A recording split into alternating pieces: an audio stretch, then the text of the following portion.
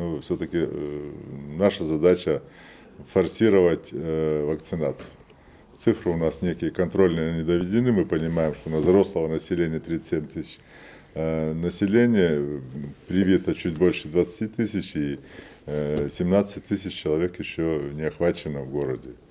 Есть, мы понимаем, что медицинские отводы и некие другие ограничения, но э, сегодня мы не скажу, что мы тут приняли какие-то кардинальные решения. Вчера был краевой штаб, ну, Алексей Викторович Подкорытов, заместитель председателя губернатора, вел его. Ну, и Владимир Сергеевич э, рядом сидит, пусть не обижается, но нас э, теперь уже и меня как главу города там критиковали о том, что э, далеко такая вот активная работа вакциномобиля. И всего в крае есть, и назвали цифру, что дошло до того, что один человек привит с помощью, вот на выезде с помощью вакциномобиля. И думаю, что в любом случае это повод серьезно поискать какие-то резервы и пригласить других людей, ресурс. Я посчитал ресурс руководителя управляющей компании с их коллективами, в моем понимании, ну, неправильно проигнорировать. И э, плюс я закрепил, попросил э,